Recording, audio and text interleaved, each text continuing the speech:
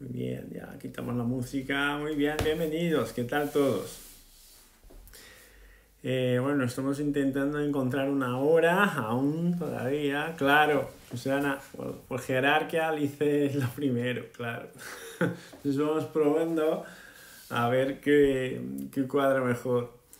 Eh, al final duerme mejor después de, la, de, las 11 de la noche, pero las 11 de la noche no es, no es una hora para, para, una peque de un año eh, descansar. Entonces, bueno, estamos intentando cuadrar todo, a ver si podemos hacerlo. Muy bien, hoy vamos a hablar de, del tema de fatiga cognitiva que creo que os va a sorprender un poco.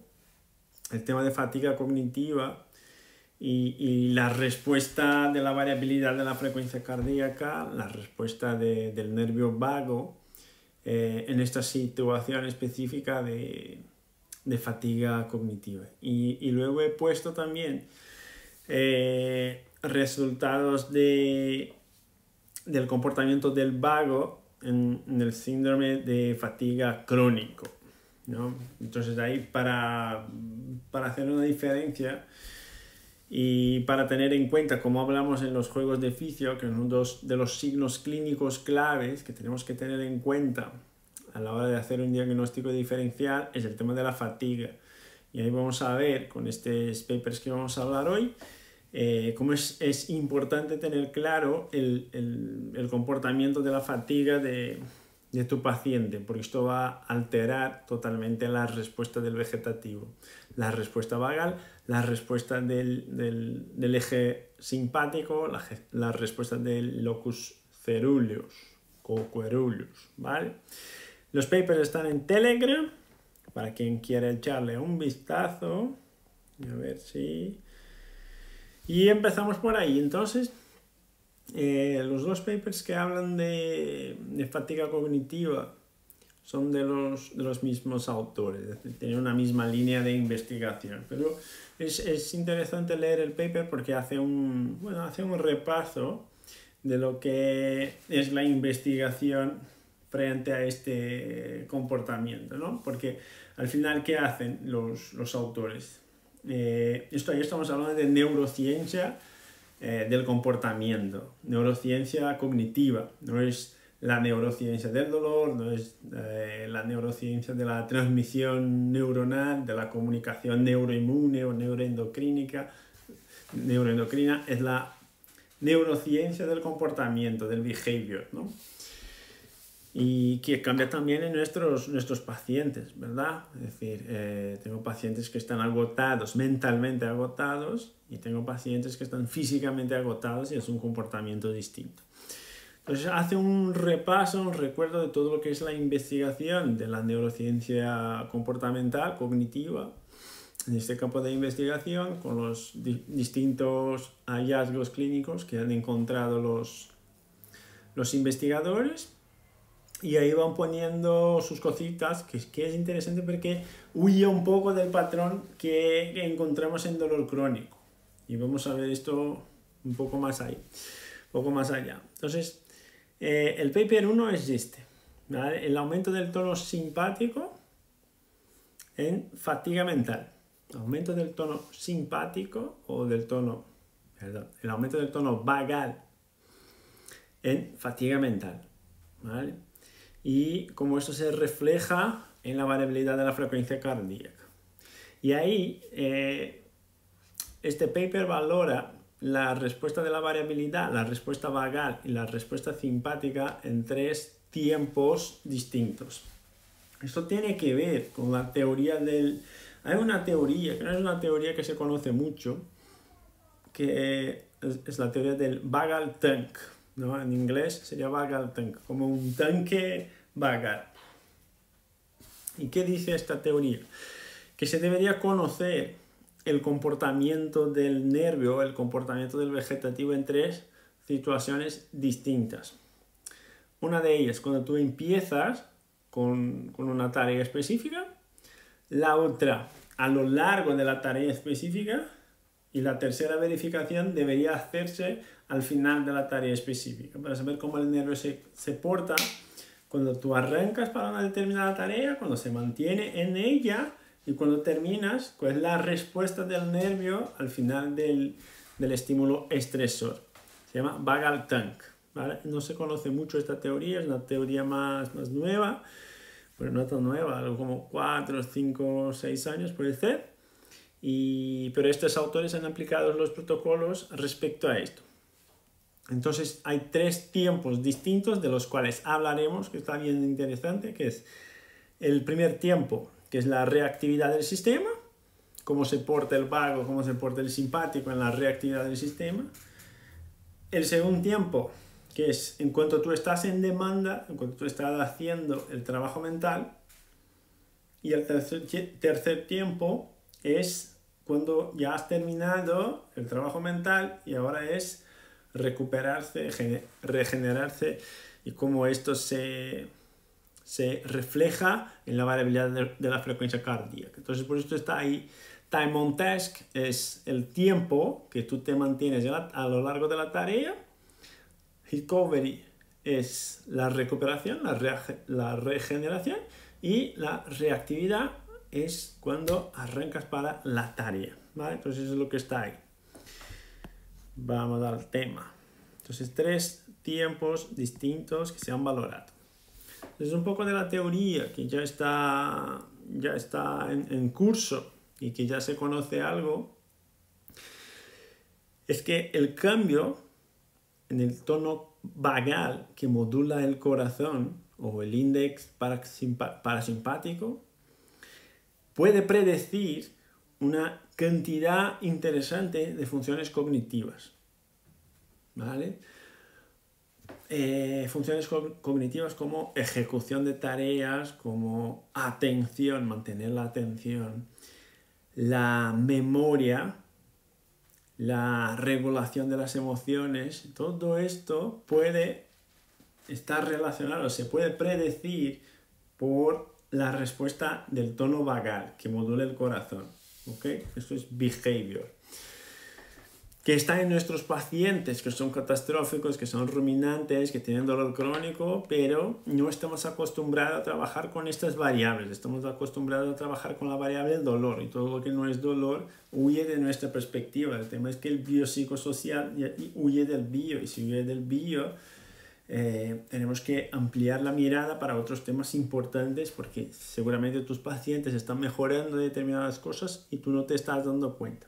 Muy bien. Entonces el tono simpático y el tono parasimpático puede predecir distintas situaciones respecto a la parte cognitiva como acabamos de decir. ¿vale? Se sugiere que un aumento de la activación parasimpática, un aumento de la activación parasimpática, está relacionada a la fatiga mental, está relacionada a no enfocar, está relacionada a no comprometerse con una determinada tarea. ¿Vale? Esto en condiciones fisiológicas, no son condiciones patológicas. No estamos hablando de personas que sufren de estrés crónico, no estamos hablando de personas que tienen dolor crónico, no estamos hablando de personas que tienen patologías autoinmunes. Una, una respuesta fisiológica normal, normal del sistema nervioso autónomo, se espera que cuando tú aumentes la demanda cognitiva, cuando ya estás cansado, ya estás en fatiga, estás estudiando hace mucho tiempo, estás escribiendo hace mucho tiempo, para un examen, lo que sea, se dice, la teoría actual es que esto aumenta el tono parasimpático, esto se refleja como un aumento del tono parasimpático y una disminución del tono simpático. Un aumento del tono vagal, una disminución del tono simpático, con inhibición de la actividad del locus ceruleus con disminución de la actividad del locus ceruleus, ¿vale? disminución de liberación de noradrenalina circulante. Esto es lo que tenemos hoy como teoría fisiológica para esta situación de cansancio mental respecto a tareas cognitivas. Entonces, tú estás estudiando para un examen de, osteopatía cuando estás ya súper cansado, con la cabeza llena, que se espera como respuesta fisiológica. Un aumento del tono vagal, disminución de la actividad del locus ceruleus y disminución de la liberación de noradrenalina. Si tú tienes un paciente que es un adolescente, que es un adulto joven, que va a hacer los exámenes para entrar en la universidad, o que está estudiando muchísimo para aprobar en eso o lo que sea, lo normal es que tú encuentres, y no hay patologías, no hay comorbilidades, lo normal es que tú encuentres este estudiante, este adulto joven en tu consulta con un clúster, con signos clínicos que cuadren con un ciclo de estrés y todavía tú le vas a medir la variabilidad de la frecuencia cardíaca y saldrá al revés. Saldrá un tono parasimpático alto con alta actividad vagal y disminución de la actividad simpática, disminución de la cantidad de energía. Esto es lo que se espera. Si es un adolescente, si es un adulto joven, se va, no sé, a hacer oposiciones y todo esto. ¿Vale? Julian, si, es un, si no hay comorbilidades, si no hay dolor crónico, no hay nada de esto, lo que se supone es que en condiciones fisiológicas, cuando tú llevas ahí mucho tiempo estudiando, ya estás con cansancio mental, fatiga mental, ya no aguantas más, esto supone que hay un aumento de la actividad parasimpática, un aumento de la actividad vagal, con consecuente pérdida de capacidad de enfocarse, pérdida de mantenerse atento a la tarea, aumento de, errores cuando estás en la ejecución de la tarea y inhibición del locus ceruleus con disminución de noradrenalina circulante. Esto en condiciones fisiológicas es lo que se espera. ¿Vale? Por eso os comenté que huye un poco de lo que en general comentamos, que es aumento del tono eh, simpático y disminución del tono vagal. Entonces, es un adulto joven que está estudiando a tope, está en la carrera y todo esto, un adolescente que está súper, bueno, que tiene un montón de, exámenes para hacer y está súper, eh, está súper complicada la vida porque tiene que estudiar mucho, no duerme bien y todo esto, llega a la consulta, primero lo que tú dices es, es un eje de estrés, está estresado, probablemente vamos a mirar cómo está el sistema nervioso autónomo y se espera, ¿no? se, espera que haya un aumento del tono simpático, disminución del tono vagal. Pero es justo al revés, es aumento del tono vagal y disminución del tono simpático. Esto es lo que proponen los autores y lo que se ha encontrado hasta hoy en la literatura científica. ¿Ok? ¿Vamos bien hasta ahí? Si vamos bien hasta ahí, por favor, darme corazoncitos me gustan los corazoncitos y aún más que son ya las 10 de la noche, entonces merece aún más la pena. Entonces lo que se pone ahí es que eh, el vago, el vago posiblemente sea uno de, eh, de, los, de los marcadores, de los indicadores más fuertes para predecir la fatiga mental. ¿ok? Eso es lo que se propone, es la hipótesis del estudio. Entonces no es raro tener un, adolescente en tu consulta que tú ves que está súper estresado, pero lo que se identifica es un aumento del tono vagal y no del tono simpático. No es raro que ocurra esto, ¿vale?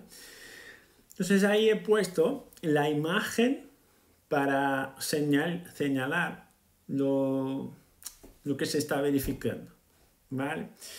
Entonces, ¿Dónde está reactivity? Es donde arranca la tarea, empieza la tarea.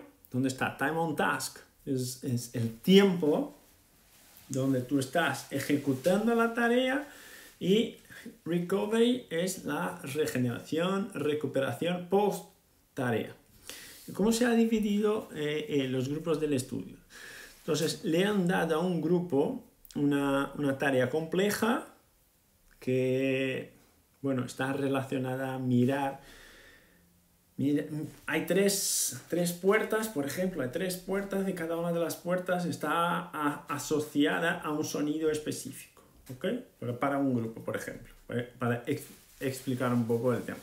El grupo complejo a este grupo hay tres puertas, tú las miras y cada una de ellas tiene un sonido específico. Muy bien. Entonces, se pregunta a, a quien está ejecutando esta tarea compleja cuál fue la puerta y cuál fue el sonido que se ha puesto. Eh, eh, me explico otra vez. Es un trial de 300 series de ejercicio. Entonces, serie 1, serie 2, serie 3, serie 4, serie 5, serie 6, serie 7. Entonces, es así. Entonces, cuando llega la serie 3, es decir, señala la puerta, señala el sonido, se hace la pregunta de cuál fue la primera puerta que ha sonado y cuál es el sonido. Cuando suena la cuarta, se pregunta cuál fue la segunda y cuál es el sonido. Cuando suena la, la quinta, se pregunta cuál fue la tercera y cuál es el sonido. Es decir, siempre le pregunto respecto a dos series anteriores. No a la que está pasando ahora, sino que a dos series anteriores. ¿Vale? Esa era la, tarea. A lo largo de 300 ejercicios. Entonces, esto pasaría 300 veces. El otro grupo lo que tenía que hacer es mirar un documental a lo largo de hora y media. ¿vale? Un grupo entonces tenía que recordarse de la puerta anterior que había sonado a lo largo de 300 puertas que sonaban y brillaban y el otro grupo miraba un documental. Esto es lo que pasaba. Entonces se miraba en estos dos grupos el tiempo, la reactividad inicial, el tiempo en la tarea y la recuperación. Esto es lo que, lo que pasó. ¿Vale? para tener más o menos claro, pero el paper está en Telegram. Entonces fijaros ahí lo que tenemos. Hay dos gráficos ahí, ¿no? Eh, el cuadrado señala el grupo que estaba mirando al documental, es decir, el grupo que la tarea no era una tarea compleja, no, no se supone que va a generar una fatiga mental estar mirando un documental por, por hora y media, ¿no? Y el grupo del círculo, de la, de la pelotita, que os puse en verde, el grupo, el grupo de la tarea compleja, que es mirar la puerta, memorizar el sonido y, y, apuntar cuál era la puerta y cuál era el sonido correspondiente dos series anteriores. ¿Vale? Esto era lo que pasaba. Entonces, si miramos la gráfica A, ya eh, la gráfica A dice respecto a la frecuencia cardíaca, la frecuencia cardíaca pura, no la variabilidad de la frecuencia, la frecuencia cardíaca pura, tal cual. Tenemos ahí ya divididos los tres tiempos. El tiempo inicial, ¿no? De arrancar para la tarea, el tiempo en cuanto tú estás en la tarea y el tiempo de la recuperación. Si os dais cuenta, si seguimos la línea verde, ¿qué pasa entonces, chatos, en el primer momento con el grupo complejo? El grupo complejo es el que está señalado en verde. ¿Qué pasa en el primer momento con la variabilidad, con la frecuencia cardíaca del grupo complejo? ¿Está subiendo o está bajando? En el primer tiempo, ahí donde está la primera columna. ¿Qué pasa ahí? ¿Qué opináis vosotros?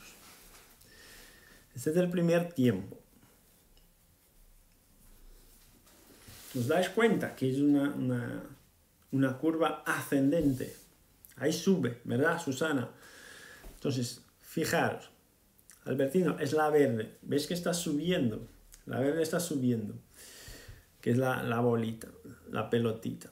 Entonces, si nos damos cuenta ahí, para arrancar en la tarea, para empezar la tarea, la frecuencia cardíaca del grupo complejo aumenta. Aumenta la frecuencia cardíaca del grupo complejo. ¿Ok? Muy bien. Este aumento de la frecuencia cardíaca en este tiempo ahí cortito, al empezar la tarea, este aumento está asociado este aumento se asocia a disminución de la variabilidad de la frecuencia cardíaca. Entonces, si queréis apuntar, apuntarlo. Si no, solo, solo que estéis atentos ya nos vale. El primer momento del grupo complejo sube la frecuencia cardíaca y baja la variabilidad de la frecuencia cardíaca. Es decir, sube la actividad simpática y disminuye la actividad vagal en el primer momento. ¿Vale? En este primer momento, y ahora sí es importante, chatos, en este primer momento, Mark, sube también la LF. Sube también la LF. ¿Y la LF qué es? La LF es, es un marcador, un posible marcador de la sensibilidad del varo reflejo. Un posible marcador de la sensibilidad varo refleja en el callado de la aorta. ¿Vale? Entonces, en un primer momento, ¿qué pasa?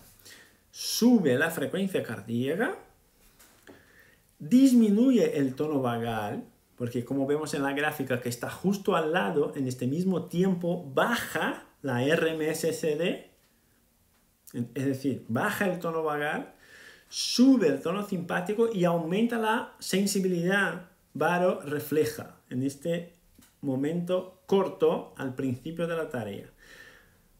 ¿Vale? Entonces, ¿por qué, ¿por qué ahora, en este momento de aumento de actividad simpática, de aumento de frecuencia cardíaca, disminución de la actividad vagal y aumento de la sensibilidad varo refleja,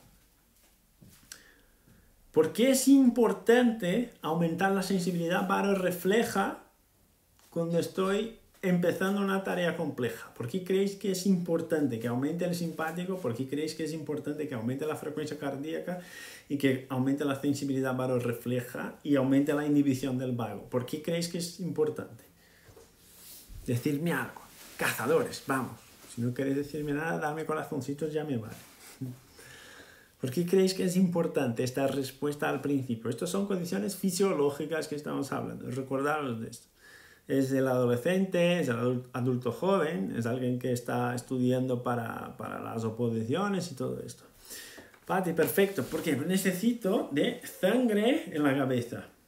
Necesito de la sangre en la cabeza. Y si necesito de la sangre en la cabeza, ¿qué tengo que bajar? Tengo que bajar la actividad vagal tengo que aumentar la actividad de quien hace el bombeo de la sangre a la cabeza. Entonces, ¿qué hago? Aumento la actividad refleja para activar mejor. Esto es lo que pasa en el primer momento. ¿Vale? Que está perfecto, es la respuesta fisiológica. Pero luego, vamos a la parte 2. Y veis lo que pasa con el otro grupo, el grupo de la tarea sencilla que disminuye la frecuencia cardíaca. Es decir, estoy mirando un documental, disminuyó la, la frecuencia cardíaca, ¿está bien? Y si tú estás haciendo una tarea compleja, aumenta la frecuencia cardíaca al principio de la tarea. Pero fijaros qué va pasando. Fijaros qué va pasando, Albertino. Fíjate. Cuando ya estamos en la parte 2, que está ahí en la gráfica dividida, cuando ya estamos en la parte 2, fijaros lo que pasa con la frecuencia cardíaca. Fijaros lo que pasa con la frecuencia cardíaca. En la parte 2 de la gráfica, de la gráfica A. ¿Qué pasa con la frecuencia cardíaca? ¿Sube o baja? ¿Sube o baja? Y ahí hay las etapas del proceso complejo, ¿no? La etapa 1, la 2, la 3, la 4, la 5. Si os dais cuenta, hay una curva, hay una curva que va bajando, va bajando, va bajando conforme va, se va pasando el tiempo. ¿Os dais cuenta? Conforme se va pasando el tiempo, conforme el, eh, eh, el paciente, conforme la persona se va poniendo más cansada, más fatigada mentalmente, más fatigada, más baja la frecuencia cardíaca. Y si nos damos cuenta, en el punto 5, ya vemos que la frecuencia cardíaca del, del grupo complejo ya está incluso más baja que la frecuencia cardíaca del grupo que está mirando un documental. ¿Os dais cuenta? Está incluso más baja que la del otro grupo. Es decir, voy disminuyendo la actividad cardíaca, voy aumentando la actividad vagal. ¿Por qué aumentando la actividad vagal? Fijaros ahí al lado. Luis, mira, al lado, justo al lado, la gráfica B es la RMSSD, que hemos comentado ya distintas veces que la RMSSD es del tono vagal. Fijaros lo que va pasando con el tono vagal a lo largo de la tarea. Fijaros, al principio de la ejecución de la tarea, ahí en la parte 1, la RMSSD está más baja. En la parte 5, donde hay más fatiga, la RMSSD está súper alta. Fijaros ahí, ¿veis? La RMSSD está súper alta. ¿Veis ahí? Es decir, el vago está más puesto. El vago está más puesto. No sería una mejor adaptación, Albertino, sería una adaptación, es decir, estoy cansado, ya no aguanto más, ahora tengo que relajar el sistema porque si no le voy a estresar demasiado. Entonces, ¿qué pasa con la fatiga mental? Baja la frecuencia cardíaca al final, ya cuando ya estás en fatiga y sube la actividad vagal. Es decir, hay una inhibición de la respuesta simpática, hay bradicardia y hay una disminución de la sensibilidad refleja.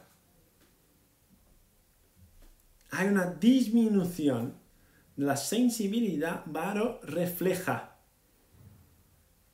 Es decir, ahora para activar el varo reflejo cuesta. Raro, ¿no? Es raro, ¿no? Es decir, está en fatiga está en hiperactividad vagal ahora. Ahora está en hiperactividad vagal. Y ahí en este momento hay una inhibición, hay una inhibición vagal de un núcleo central, que es un núcleo de la red autonómica central también, que es un núcleo noradrenérgico, que es el locus ceruleus. ¿Os dais cuenta? Este es el momento que hay inhibición del locus ceruleus. En la fatiga mental. Otra vez, estamos hablando de personas sin comorbilidades, sin dolor crónico. No, esa es la respuesta fisiológica. María, entonces tú cuando estás cansada de estudiar el SNA integrativo, tu tono vagal está súper alto. Tu tono vagal está súper alto. En teoría, esta es la respuesta fisiológica. Entonces, si os recordáis otro día que os comenté de, de una paciente que, vino de 20 años, vino con su madre en la cita y todo esto, estaba súper estresada, no dormía por la noche y todo esto. Y la respuesta de la variabilidad de la frecuencia cardíaca estaba buena, el tono vagal estaba súper alto, el tono vagal estaba súper alto y el tono simpático estaba bajito, porque no me cuadraba, no me cuadraba con, con el clúster, porque era un clúster de estrés tal cual.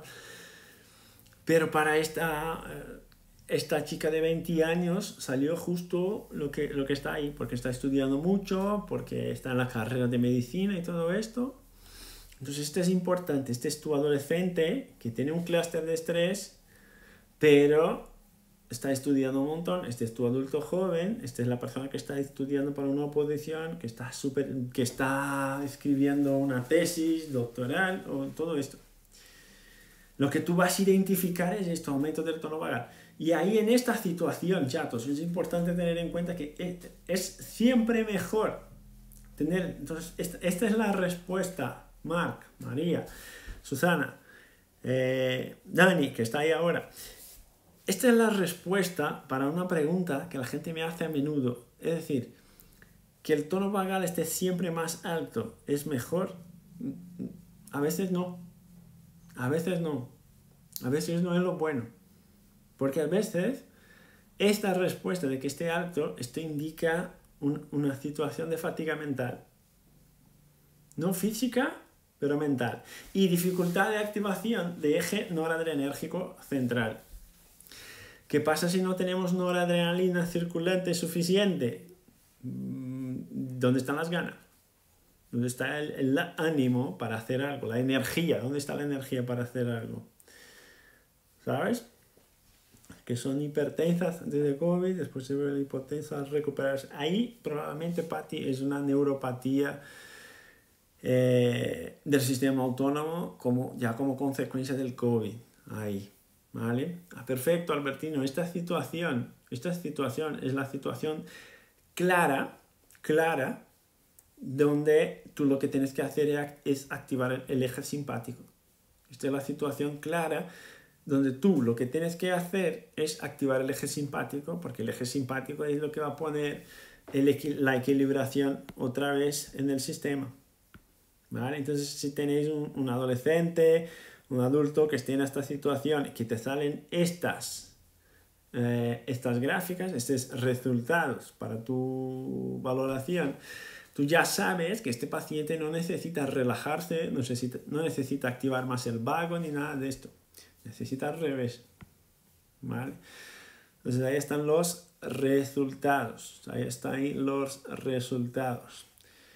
Siempre es tiempo dependiente, Susana. Sí, tiempo dependiente porque tienes que llegar a la fatiga. Cuanto más cansancio tiene mental, esto va aumentando más el tono vagal, que no cuadra con nada de lo que hemos visto hasta hoy, ¿verdad? Por esto os comenté que esto es neurociencia de comportamiento.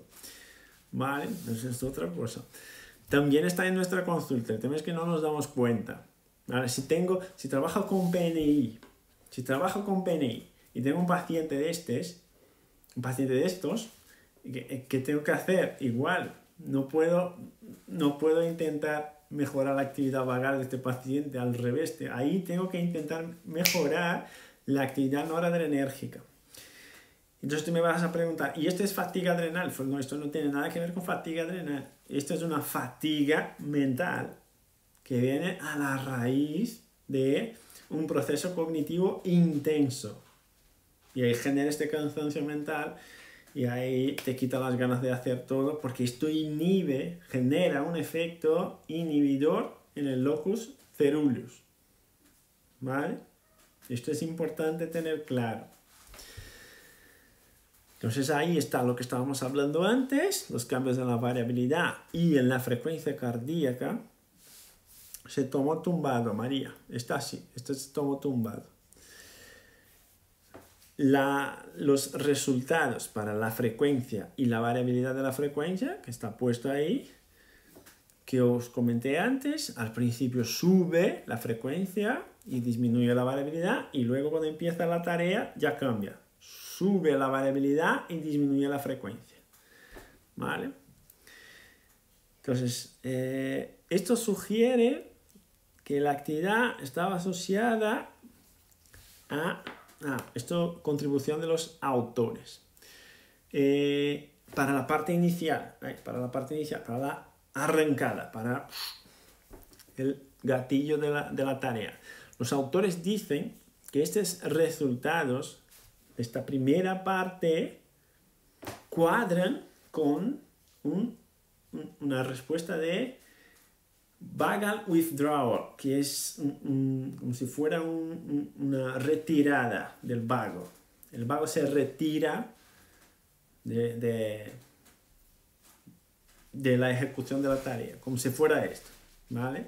Pero fisiológico, fisiológico. Se pone, vagal withdrawal significa esto. ¿Vale? El vago no viene, entonces, para la primera parte, donde tú no conoces la tarea, tiene que ejecutar esto, tiene que ponerse, tiene que estar más activo, hay un aumento de la sensibilidad baro refleja, aumento de la actividad simpática, disminución de la actividad vagal, aumento de actividad del locus ceruleus, y todo esto está bien puesto, bien puesto.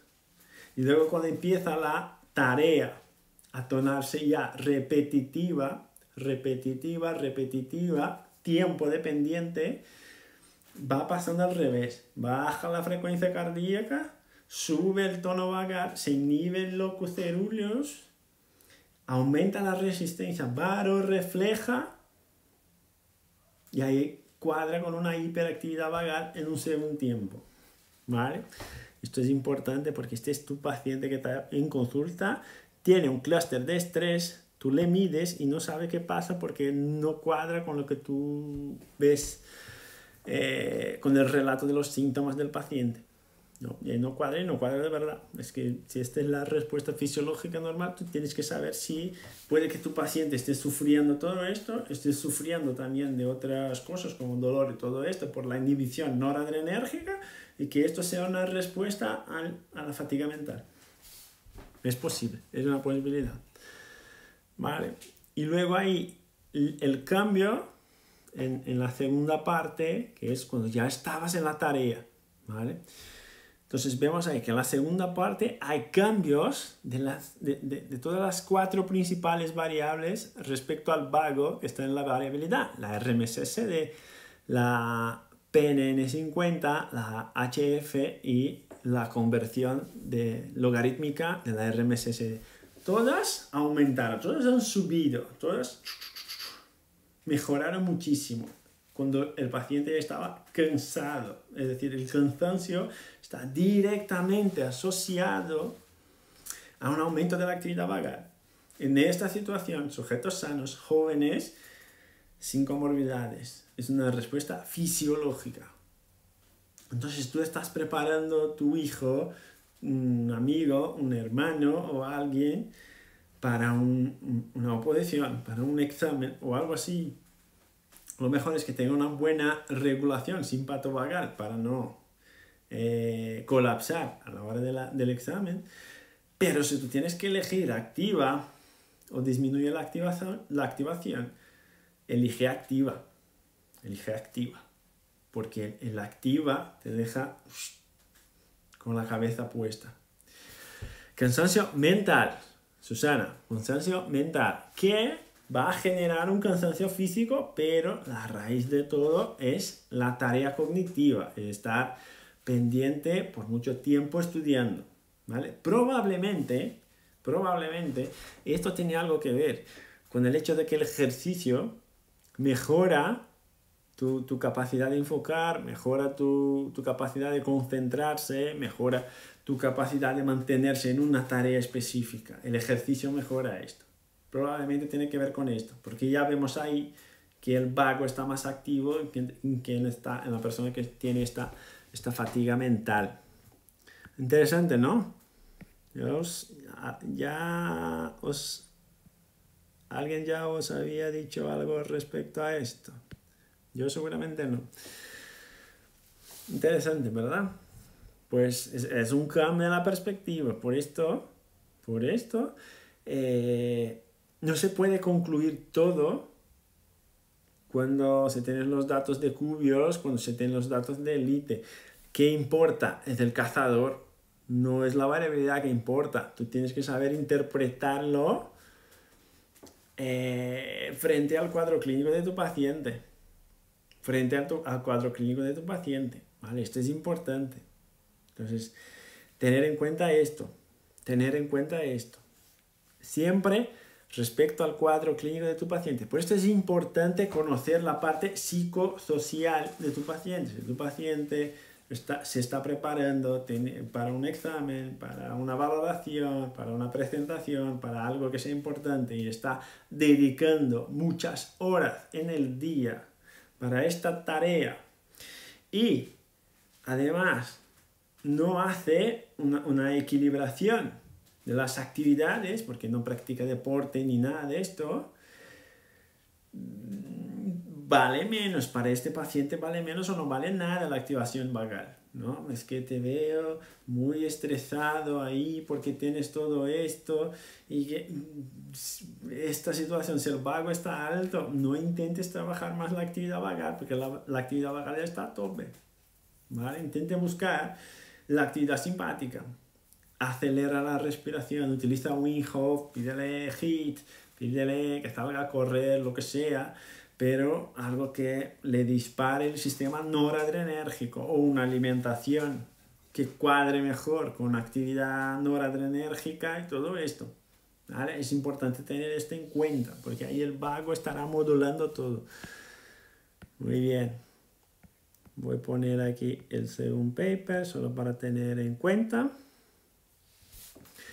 Este es el segundo paper, que es los estadios, estados de baja actividad fisiológica y la fatiga mental. Y ahí es una otra pequeña parte de este mismo estudio que llegará a la misma conclusión de que os acabo de comentar. Pero están puestas dos imágenes. ¿Esto por qué? A ver qué ha pasado aquí.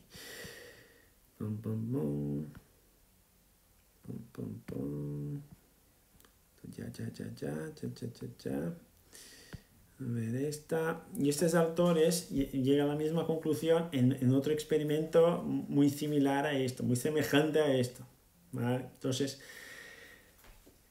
un alto tono vagal, una hiperactividad del sistema vagal en esta situación sin comorbilidades, sin dolor crónico, en situaciones fisiológicas para adultos jóvenes que están en la carrera universitaria, que por ejemplo era, eran los pacientes de este, de este estudio, lo normal es que si está pendiente de estudiar mucho tiempo y no hay una equilibración de ejercicio, que el tono vagal esté alto, si hay fatiga mental.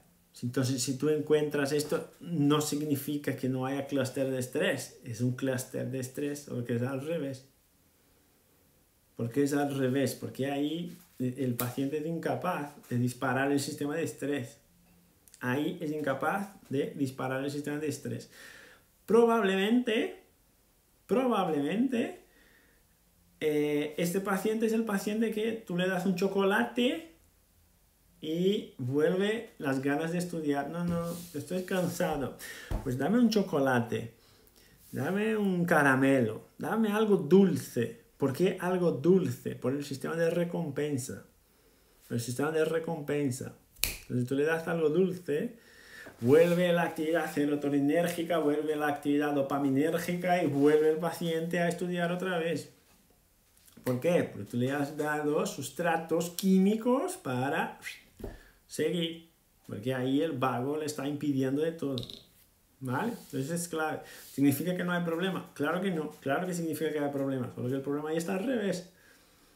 Es incapaz de activar el eje noradrenérgico y yo ahí necesito del eje noradrenérgico para enfocar, para mejorar todo esto. Azúcar al cerebro, azúcar es vida, solas, azúcar es vida es fatal también. Tengo que quitármelo totalmente, pero es que es vida, es vida. pero lo voy a quitar pronto. Voy a empezar una ketogénica brutal para organizar el cuerpo. Porque si no, no aguantamos. Vale, entonces las mismas conclusiones. Está todo en Telegram para quien quiera echarle un vistazo. Pero como aún tenemos un ratito de tiempo, 14 minutos, os quiero poner esta parte aquí ahora para hacer la la tesis, la antítesis, para que se saque la síntesis. Este es el ejercicio de la dialéctica, ¿no? La dialéctica socrática. Muy bien. Entonces, fijaros ahí, ahí es otro tema. También es fatiga, pero ahí ya es síndrome de fatiga crónica. ¿Vale? Ahí, ahí el tema es otro. Es síndrome de fatiga crónica. Ahí el tema ya es otro. El tema ya es otro. Y ahí la cosa va al revés.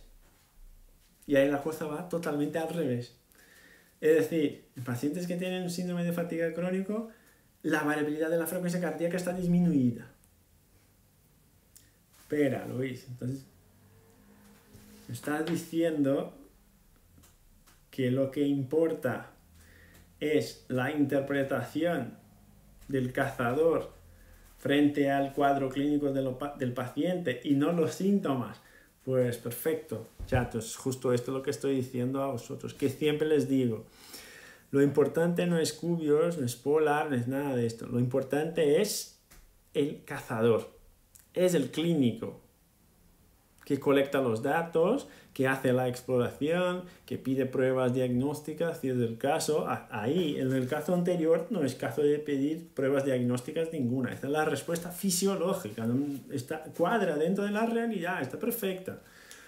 No, no tiene nada no tiene nada alterado para que tú le pidas, dame una, analítica de la sangre, porque te veo cansado, te veo agotado mentalmente, pero aquí tu corazón me está diciendo que, que tú estás bien. No, el corazón no te está diciendo que está bien, el corazón te está diciendo que es que, que la vía de agotamiento es esta hiperactividad del sistema cognitivo, del sistema comportamental, que está generando inhibición de ejes altos de la red autonómica central, que impide, que impide la activación noradrenérgica.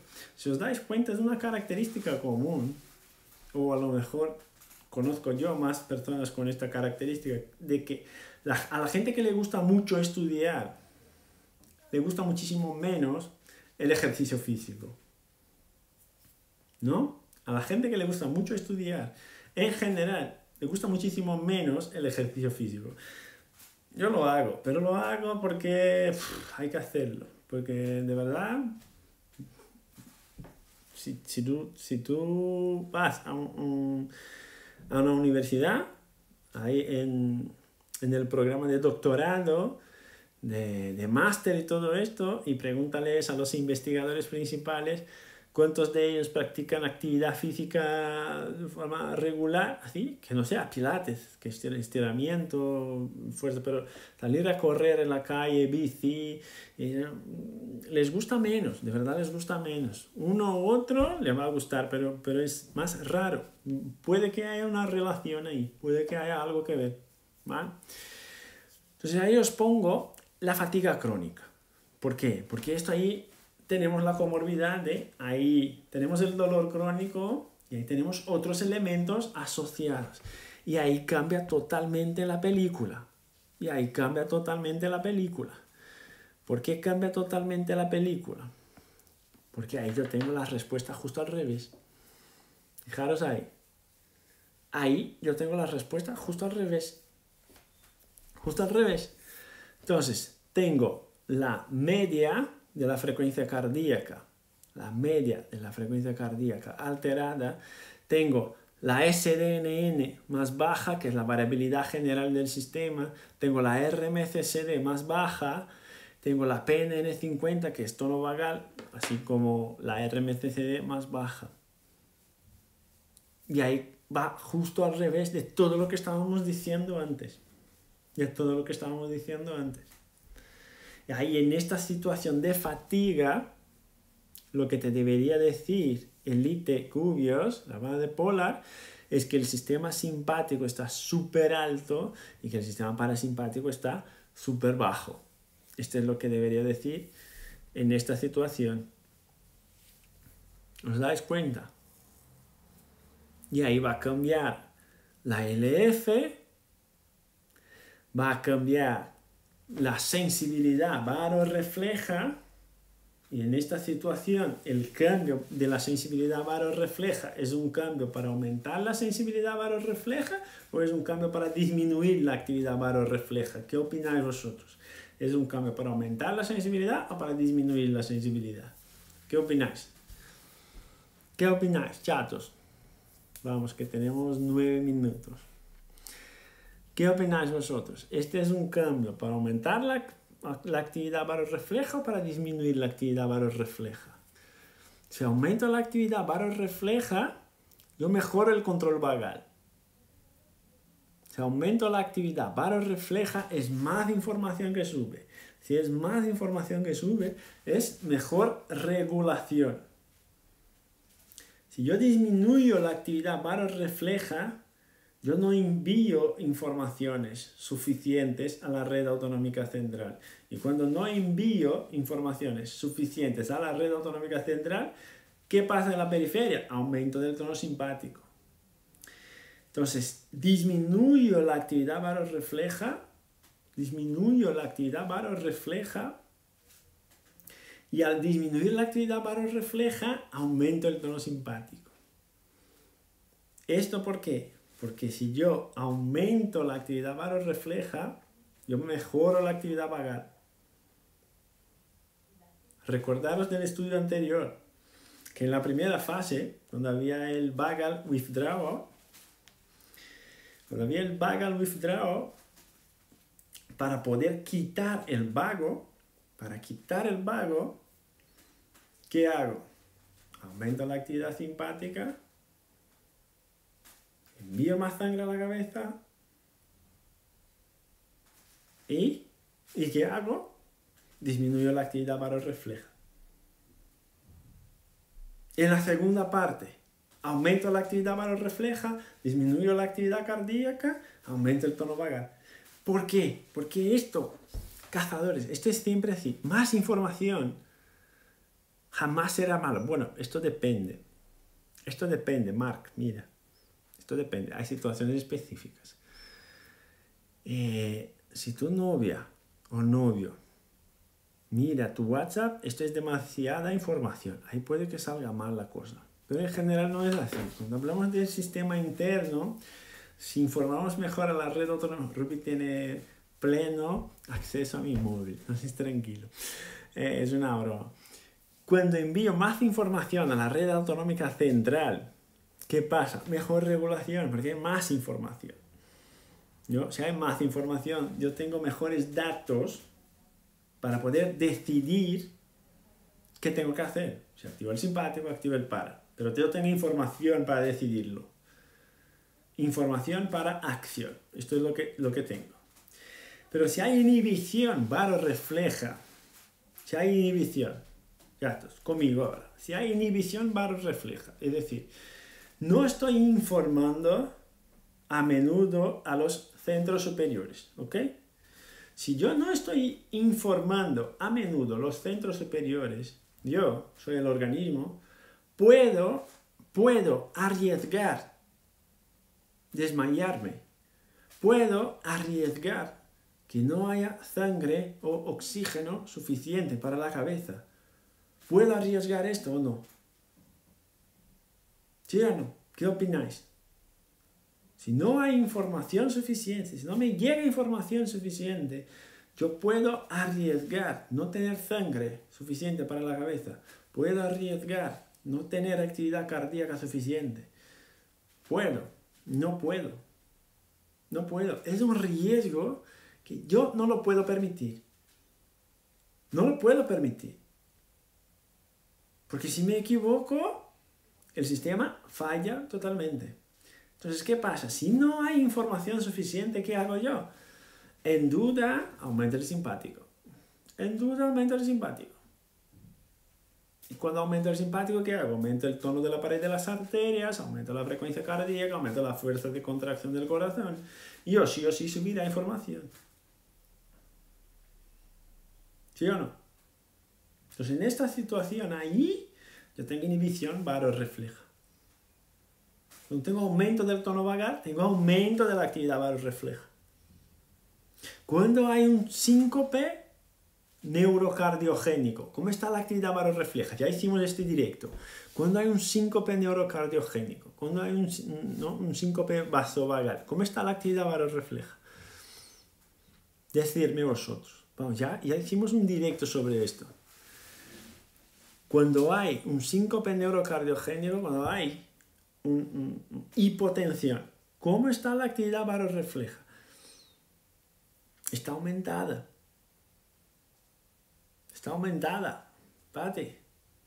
Está aumentada, Susana. Cuando hay un síncope neurocardiogénico, la actividad refleja está aumentada, Mar. ¿Por qué está aumentada? Está súper, súper, súper, súper fuera de su sitio. ¿Por qué? Porque cuando recibe cualquier información, lo interpreta como si fuera una hecatombe. Uf, es una hecatombe, estoy sintiendo algo. Y cuando lo nota, envía información, mira, mira, mira, mira, algo ha pasado aquí, estoy sintiendo algo, estoy notando algo, ¿qué hago? Activa el vago y ¡pum! Se desenchufa el sistema y se desmaya. Y se desmaya. Y se desmaya. Entonces en el síncope neurocardiogénico es, Albertino, cuadra mejor con esto. En el síncope neurocardiogénico, en el síndrome vasovagal, síncope vasovagal, el receptor, como Sol nos dijo, es hipersensible. el receptor es hipersensible. Y como es hipersensible, cuando nota algo, le pide al centro, mira centro, estoy notando algo, seguro que esto es malo, baja el sistema, pum, y, y se desmaya o se tumba o genera una hipotensión fuerte para poder contrarrestar esta situación de hiperactividad refleja. Echarle un vistazo al, directo de, de síncope neurocardiogénico, merece la pena, porque justo al revés de esto que está ahí. Los problemas crónicos, los problemas de diabéticos, los problemas de neuropatía del sistema autónomo suelen cursar con, suelen cursar con aumento o disminución refleja. Vamos, la pregunta para el final del directo. Los problemas crónicos, los problemas autoinmunes, los problemas de depresión, los problemas de ansiedad, los problemas suelen cursar con aumento o disminución refleja. Decirme vosotros, vamos, la pregunta del final del directo. Suele cursar con aumento o disminución de actividad refleja. Ya os comenté esto incluso en el curso del final de semana. Vamos. Los problemas crónicos, disminución de la actividad refleja. Perfecto, perfecto, perfecto, Mallorca, perfecto. Disminución de la actividad refleja, aumento de la actividad simpática. ¿Vale? Que es justo lo que pasa ahí, en, el, en, en la fatiga crónica. ¿Vale? En el síndrome de fatiga crónica, lo que pasa es esto, disminución de la actividad refleja aumento de la actividad simpática, justo esto. Y en la fatiga mental pasaba al revés. La fatiga mental pasaba al revés. Aumento de la actividad vagal, aumento de la actividad refleja. ¿Vale? Esto es clave, chatos, clave, clave, clave. ¿Vale? Entonces está ahí. Disminución de SDNN, RMSSD y valores más bajos para la LF. Recordar, la LF es el reflejo. ¿Vale? reflejo. ¿Cómo aumentamos la actividad refleja? Rodiel, bueno, ahí hay un montón de estrategias. Yo te diría, lo primero de todo, cuclillas para aumentar la volemia. Lo primero de lo primero. ¿Vale? Entonces está puesto ahí y... Mm, esto salió fatal. Salió fatal. Salió fatal porque hay mucha cosa. Pero ahora quito esto. Mm, bueno, no se ve bien. Pues Ruby. Me organicé mal. Ruby. A ver si esta no. Esta tampoco. Está muy bien. Pues bueno, la consecuencia natural es esta. Hay una alteración de la regulación del sistema de la red autonómica central. Hay que diferenciar fatiga mental de fatiga crónica. ¿Ok? Esto es clave. Hay que diferenciar si hay comorbilidades o no. Hay que diferenciar si hay uso de medicaciones o no. La LF es posible que sea el varo reflejo. Es posible que sea. Es lo que más se acerca hoy a lo que sería la LF. ¿vale? Pero hay gente que dice que es la actividad simpática, otros dicen que es simpato vagal, pero hoy lo más cerca que tenemos es que es la actividad refleja, ¿vale? Rodiel, yo te diría que esto es un problema interoceptivo, hay que mirarlo. Busca uno de nuestros cazadores de, de cebras que seguramente te va a ayudar muchísimo, ¿vale? Si quieres después envíanos un mensaje en directo, ¿vale? Muy bien. Muy bien. Entonces, espero veros, bueno, en el final de semana de mentoría, ¿no? Qué bien. Echarle un vistazo al directo de 5 cardiogénico, chatos. Les va a recordar algunas cositas. Y Rubí y yo tenemos planes de hacer dos directos a la semana ahora. Y por nuevos proyectos y todo esto, que espero pronto poder comentar todo con vosotros y pedir vuestras opiniones. ¿Vale? Un súper abrazo a todos, un SN abrazo a todos.